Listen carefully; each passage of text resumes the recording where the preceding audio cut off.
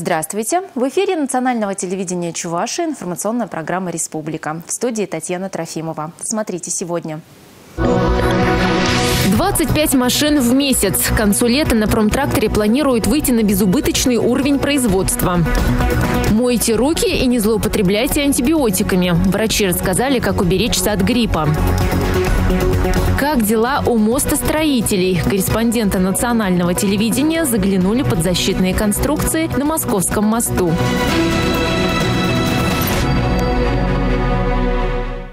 Сегодня после капитального ремонта открылась поликлиника Республиканской детской больницы. Привести здание 80-х годов в современный вид помогли средства из резервного фонда президента страны. Результаты масштабной реконструкции оценил и глава региона. Подробности в следующем материале. С глазками смотрим за молоточком. На молоточек, молодец. Роман и его мама – первые пациенты обновленной поликлиники. Говорят, что после капитального ремонта здесь стало комфортно и красиво. Свежесть появилась здесь как-то, все такое по-другому яркое стало. Ну, то, что для детей, чтобы заинтересовать сюда приходить. Позаботились не только о пациентах. Для удобства работы врачей в республиканской детской больнице продолжают укреплять материально-техническую базу. Недавно было модернизировано отделение реанимации. Мы ждем уже ту аппаратуру, которая в проекте есть. Это более для высоких технологий, это МРТ высокоразрешающие, которые нам необходимы. В отношении аппаратуры у нас, по сути дела, внедрено все на сегодня, что входит в стандарты. Я работаю в этой больнице уже 44 года, поэтому во все времена сохраняли Главное для врача – это нравственные этические позиции. После ремонта коридоры и кабинеты заиграли яркими красками. На стенах картины, в холлах игрушки и мягкая мебель. Немалую сумму направили на замену кровли, электрики и коммуникаций. Работы были завершены за полгода в рекордно короткие сроки. Полная новая прокладка, чего раньше не было, систем телекоммуникаций, то есть сети интернета во все необходимые помещения, пожарная сигнализация, освещение оборудование и так далее. Все аппараты какие-то, все новое, все блестит, все чисто, аккуратно. Михаил Игнатьев отметил, что за последние годы из резервного фонда президента республика получила более 100 миллионов рублей. Львиную долю направили на развитие медицины. Не было бы решения президента России, мы не, могли, не смогли бы получить за счет резервного фонда 26,5 миллиона рублей и не смогли бы короткие сроки вот так капитально отремонтировать и создать создать вот эту красоту. И в перспективе, и в этом году средства уже заложили, значит, на реанимационное отделение. В этом году по инициативе президента будет дан старт и программе модернизации детских больниц. На эти цели республики выделят еще 100 миллионов. Дмитрий Ковалев и Игорь Зверев. Республика. Чебоксарский индустриальный парк продолжает расширяться. Сегодня здесь начал работу второй по счету резидент. Старт новому производству дали в торжественной обстановке два, один. Новый корпус позволит расширить мощности научно-производственному объединению «Каскад». Сейчас на его базе выпускают шинодержатели, соединители и системы контроля для электрошкафов и щитов. Продукция завода пользуется спросом и за рубежом. В индустриальном парке наладят и производство специальных комплектов для Министерства обороны. На новой площадке только в этом году создадут свыше 150 рабочих мест. Мы помогли стороны государства подвести коммуникации, все остальное. Остальные риски все равно же берут на себя. Это во-первых. Во-вторых, появлялся, появляется новый налогоплательщик по оборотам. Пополнять будем доходную часть, а по расходной части будем направлять эти средства на повышение качества жизни жителей Чувашской республики. Новый корпус – часть инвестиционного проекта. Его реализация продолжится. До 2020 года здесь планируют построить еще одно производственное здание. Готовить специалистов предприниматели намерены уже сейчас. На открытие корпуса пригласили студентов техникумов и вузов. Создается добавленная стоимость здесь где мы видим, работает молодежь, молодежь, и она не уезжает никуда, а находит свое место приложения здесь у нас в республике, в городе Чебоксары. Мы видим, что вкладывается в производство, видится, что вкладывается в строительство, в том числе этого корпуса, поэтому сопровождали ее постоянно. Ну и вот сегодняшний, приятно пожинать сегодняшний результат. Сегодня же глава Чувашии Михаил Игнатьев побывал на заводе «Промтрактор», где встретился с работниками предприятия. Валерий Вострушкин работает слесарем на промтракторе 35 лет. Он хорошо помнит те времена, когда завод работал в три смены, а в месяц с конвейера сходило больше ста машин. Сейчас у нас упадок на заводе чувствуется немножко есть, но в дальнейшем -то тоже хотим, чтобы производство у нас поднялось, и мы собирали больше. Работников у нас, конечно, сейчас на три смены не хватает, а если людей наберут, конечно, люди придут. Надеемся тоже. Пока же на заводе 4 дня в неделю трудится чуть более двух с половиной тысяч человек. В прошлом году критическая ситуация на предприятии стала выправляться. Концерн «Тракторные заводы» перешел под управление госкорпорации «Ростех». Важно, что начиная с ноября 2017 года мы, завод стал изготавливать продукцию для покупателей точно в срок без задержек.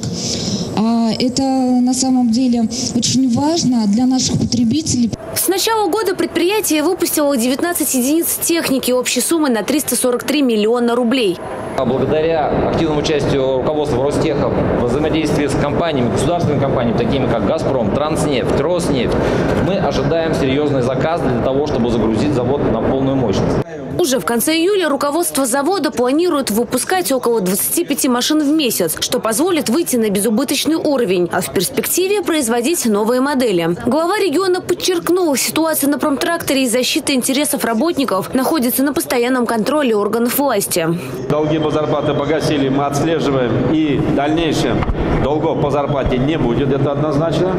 Во-вторых, касаясь других долгов там по энергетикам, отрегулировали на первом этапе. Дальше все это тоже будет регулироваться. В заключении встречи Михаил Игнатьев ответил на вопросы заводчан. Татьяна Леонтьева, Олеся Русакова, Александр Петров. Республика. Молодые профессионалы, творческая молодежь, студенты, управленцы, серебряные волонтеры Чувашии. Порядка 50 человек сейчас находятся в Москве на форуме «Россия – страна возможностей». Какие встречи и полезные мастер-классы посещают наши земляки и что привезут обратно с собой в республику, расскажет Ирина Волкова. Творческая и рабочая молодежь, активисты, школьники, предприниматели и управленцы. Форум объединил людей из разных регионов, стран, различного возраста и социального положения. Зато цель у них одна – двигаться вперед во всех смыслах. Музыканты, я на них обязательно ходила. А, на мастер-классы именно творческие, на режиссеров, э, woman, да, они же тоже как актерство такое, творчество. И вот эти все мотивации людей, а, они вдохновляли меня, и мне хотелось, честно говоря, еще хочется побывать на разных еще форумах. Хочется творить, творить. Перспективные идеи, оформленные в проекты, не остаются незамеченными. Их поддерживает фонд президентских грантов. Это семинар для лидеров, уже воплощающих в жизнь свои задумки. Причем представители фонда собрали здесь активистов, чтобы вместе наметить формы взаимодействия участников с фондом. В этом году э, мы выиграли грант фонда президентских грантов э, на реализацию проекта «Доноры крови Чуваши». Все-таки, на наш взгляд, фонд может стать действительно вот тем, э, той лакмусовой бумажкой, которая будет показывать, что проект действительно качественный, действительно хороший. Быть волонтером – это для студентов и школьников. Утверждение в корне ошибочное. Добровольцами становятся и люди в возрасте. Их называют серебряные волонтеры. Движение молодое, но прогрессивное. Нашему серебряному волонтерству год. И я здесь для того, чтобы принять э, разный опыт разных регионов, э, и чтобы я могла обучить новыми знаниями, новыми, новыми навыками наших серебряных волонтеров. Я родилась в Чебоксарах. Мне кажется, вот в европейской части России волонтерство серебряное развито больше. Вот я, э, перезнакомившись с девочками, ну, девочки, это для меня тоже мои подруги, Чебоксары и Алатырь, я смотрю, что действительно более активные здесь люди пожилого возраста, чем у нас в Красноярске. Форум – это площадка и для серьезных разговоров с министрами федерального уровня, которые работают работали в живом режиме «Вопрос-ответ». Министр иностранных дел России Сергей Лавров поделился мыслями о перспективах восстановления отношений Москвы и Брюсселя. С председателем Центра стратегических разработок Алексеем Кудриным участники поговорили о перспективах, вызовах и возможностях. По сути, в ближайшие 6-10 лет произойдет новый призыв, в общем-то, людей, способных проводить цифровизацию экономики. Это означает, что нам в стране нужны около 2 миллионов новых программистов, способных заниматься цифровизацией ряд разных отраслей. Чтобы выявить активистов и помочь им реализоваться, и созданы 14 всероссийских проектов, объединенных в общую открытую платформу «Россия – страна возможностей». Кстати, ее инициатор, президент России Владимир Путин, сегодня посетит форум и пообщается с участниками. Ирина Волкова, Андрей Шоклев из Москвы. У депутатов Государственной Думы России региональная неделя. Парламентарии от Чувашии встречаются с трудовыми коллективами, проводят приемы граждан, решают другие задачи. Леонид Черкесов побывал в Хадарской школе Шумерлинского района. Хадарская школа – одна из старейших в Чувашии. Ее открыл Илья Николаевич Ульянов в позапрошлом веке. Депутат Госдумы Леонид Черкесов, выпускник этой школы, приехал с комплектом амуниции для хоккейной команды. Кстати, детская сборная Шумерленского района на 80% состоит из хоккеистов Хадарской школы. Уже два года благотворительный фонд поддержки детско-юношеского здоровья и спорта, чей попечительский совет возглавляет Леонид Ильич, одевает команды школьной хоккейной лиги. В Чебоксарах новую форму получили 32 команды. Теперь пришла очередь районов Чувашии. А депутат Госдумы Алена Аршинова побывала в школе и детском саду. Надежда для детей с заболеваниями опорно-двигательного аппарата. Она привезла мобильные коляски для прогулок ребятам, которым сложно передвигаться самостоятельно. Движение по второй половине Московского моста в Чебоксарах должны открыть уже в этом году. О том, на какой стадии строительные работы, Ольга Пырочкина. Вторая половина нового московского моста сейчас вся во вспомогательных конструкциях. Однако силуэт уже проглядывается. Строители закончили возводить опоры, а до этого загнали под каждую в землю 25-метровые сваи. Теперь приступили к пролетам. Погодные условия для нас э, разницы нет. У нас э, все будет прогревом. Соответственно, для этого мы выполнили тепляк. У нас будет бетон прогреваться теплогенераторами. Погодные условия нам никак не, повре... не помешают работать.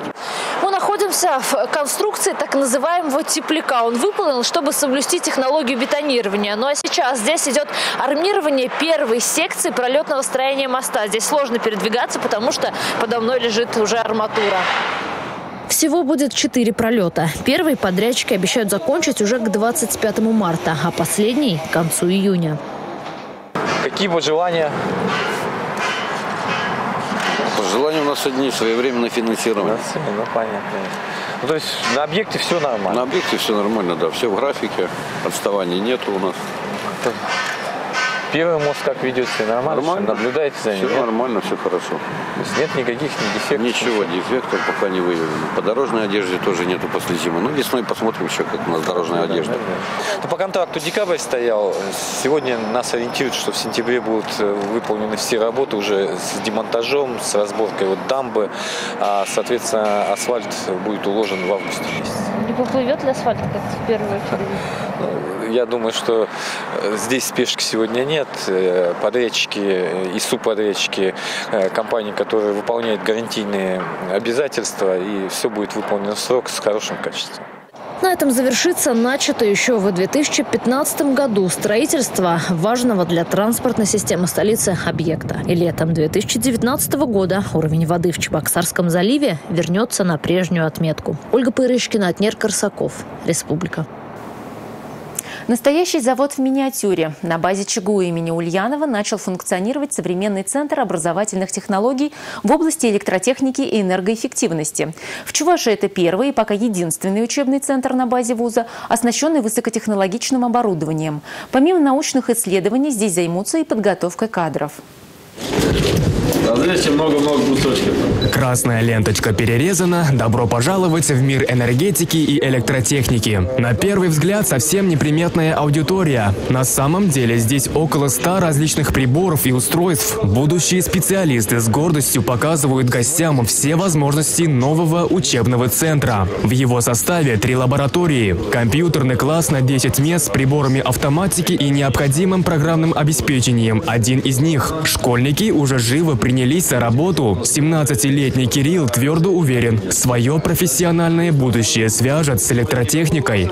Эти знания в будущем мне помогут для сдачи физики, и как бы уже я могу э, спокойно ориентироваться в таких электросхемах. Это как бы пример простой игры ковбои. Как только запищит, э, начнется сигнал, надо вовремя нажать на кнопку, и тот, кто успеет первым нажать, загорится, э, получается, светодиод, и значит, тот становится победителем.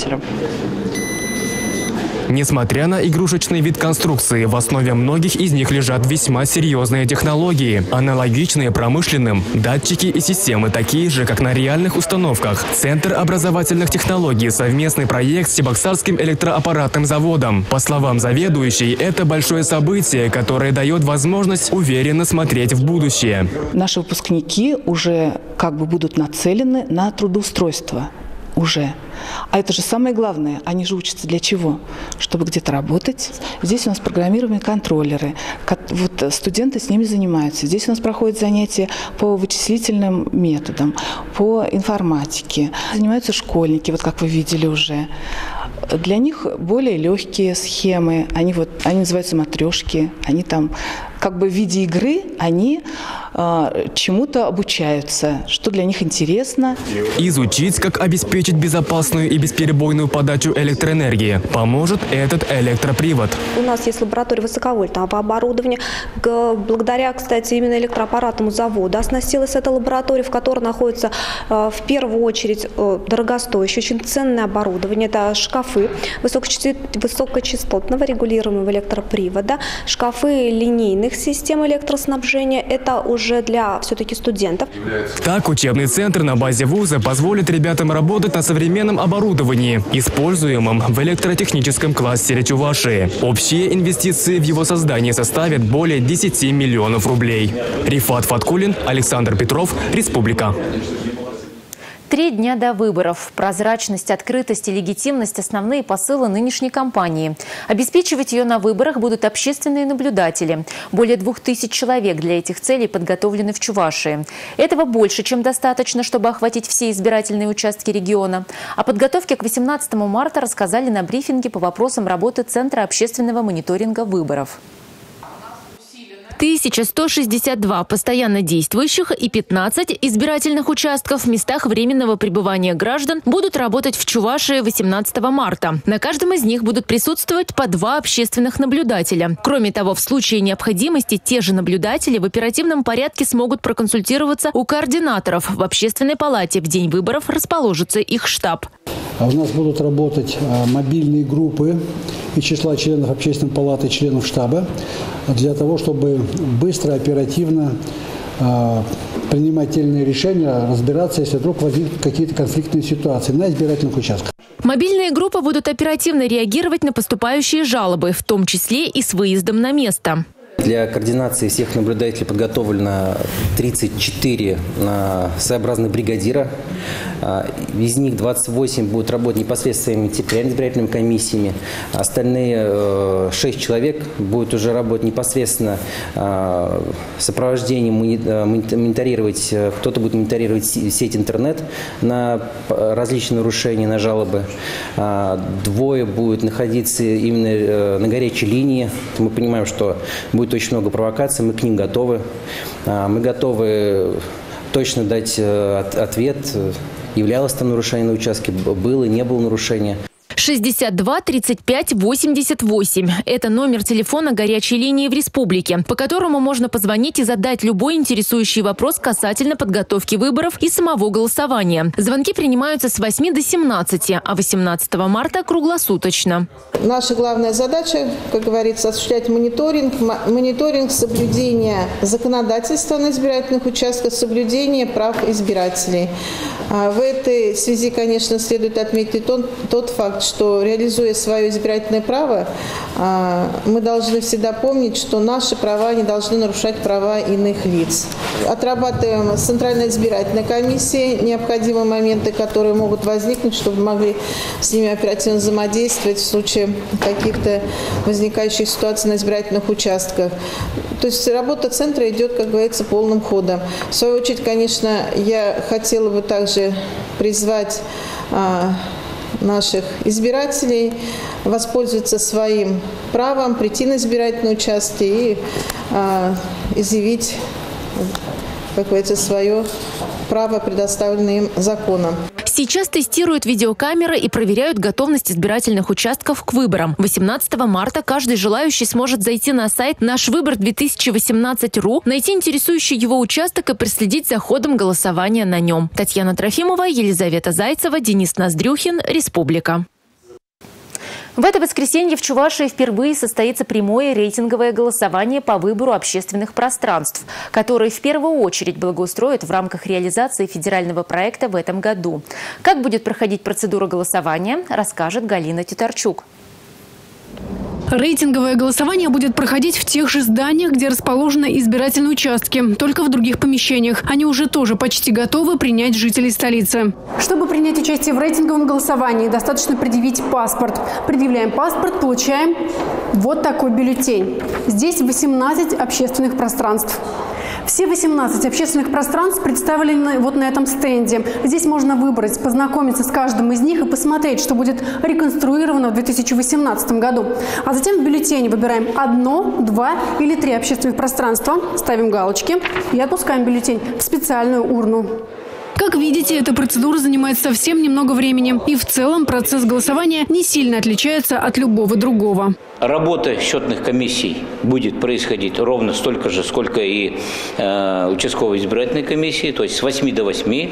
А дальше будет происходить так же, как и на э, участковых комиссиях, подсчет Э, результатов по бюллетеням, составление протоколов, и мы уже ту же ночь получим протоколы, вот это, это э, общественные районные комиссии во всех районах города э, будут в ночь с 18 на 19 подбивать итоги, и которые мы будем уже знать, какие территории были отобраны нашими горожанами на 2018 год.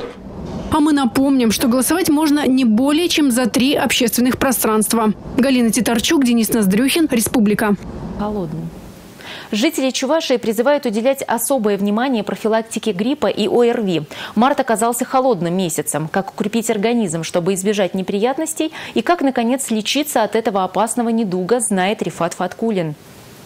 В зимний период здоровье требует особого внимания, ведь пик сезона простуд обычно приходится на февраль-март. В городской детской больнице номер 3 Чебоксар уже наблюдается наплыв маленьких пациентов. Грипп является одним из самых тяжелых и опасных вирусных инфекций. Врачи рекомендуют не забывать о профилактике. Лучшая броня – вакцинация. Она проводится осенью до начала эпидемии. На сегодня привито 75% детского населения. Вакцинация очень важна, и она нас на самом деле очень спасает.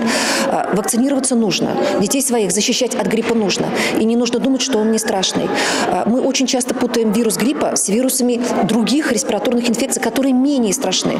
И а, у нас складывается ложное впечатление о том, что если мы не привьемся, с нами ничего не случится. Чтобы не заразиться, достаточно соблюдать несколько простых правил. Пришли с улицы, помойте обязательно руки.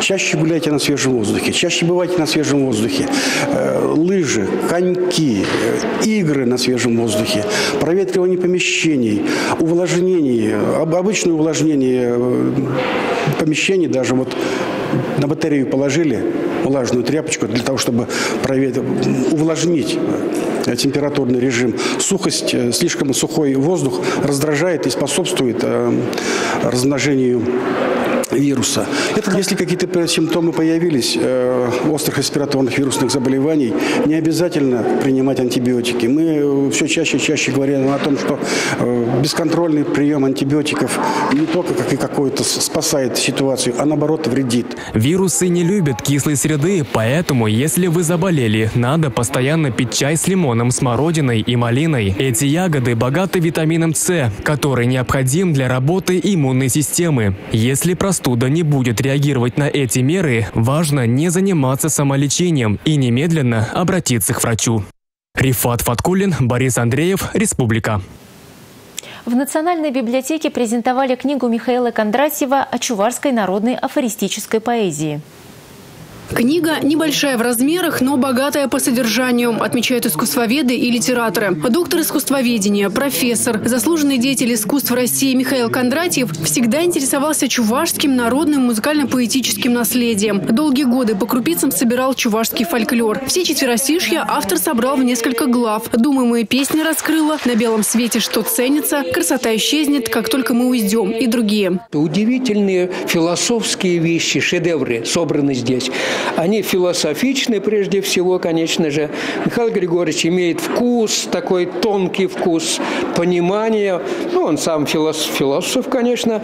Он, конечно же, и э, отобрал лучшие наши вещи, лучшие вещи, вот чувашские песни тексты. Как отмечает сам составитель книги, чувашские четверостишья по форме и содержанию напоминают восточную поэзию. Персидские рубаи, японские танка, турецкие мании. Наряду с оригинальными текстами здесь же русские и английские переводы, а также комментарии. Книга богато проиллюстрирована заслуженным художником Чувашии Станиславом Михайловым Юхтаром. Галина Титарчук, Татьяна Раевская, Игорь Зверев. Республика. Как и по всей стране, в Чебоксарах 18 марта состоится праздничный концерт-митинг «Мы вместе», посвященный четвертой годовщине вхождения Крыма в состав России. На площади республики выступят творческие коллективы, артисты эстрады. Начало в 20 часов. Приходите сами и приводите своих друзей. Это все новости на сегодня. Далее вас ждет интересная и полезная информация. Я с вами прощаюсь. Увидимся завтра на национальном телевидении Чувашии. Они жонглируют мечами, бьют в колокол, танцуют и поют. Они артисты московского дельфинария. Познакомиться с ними поближе жители и гости столицы Чувашии могут в парке Амазония. Вот уже неделю зрители радуют новое шоу черноморских дельфинов.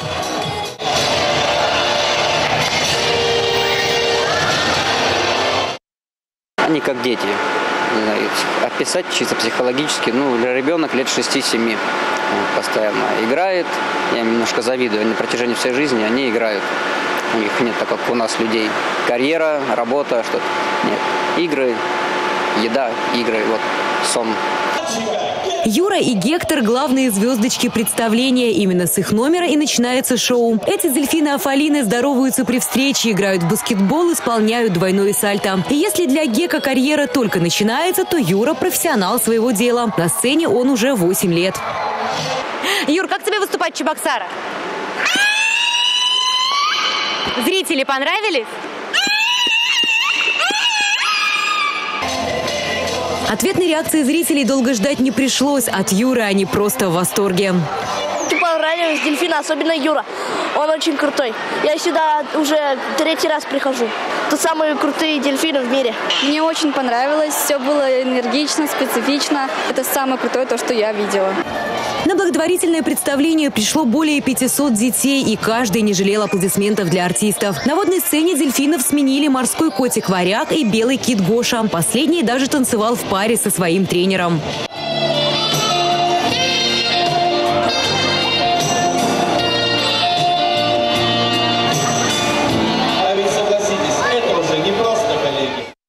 Этому трюку Гоша научился за две недели. И, как признается сам тренер, с китом ему работать комфортно. Хотя и у Гоши есть характер.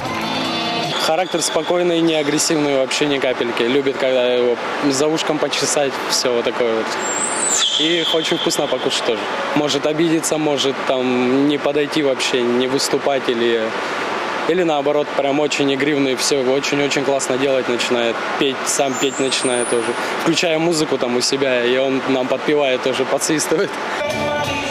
Вы еще не посетили дельфинарий? Не расстраивайтесь, у вас еще есть такая возможность. Познакомиться лично с морскими артистами жители и гости столицы Чувашии могут весь март со среды по воскресенье включительно.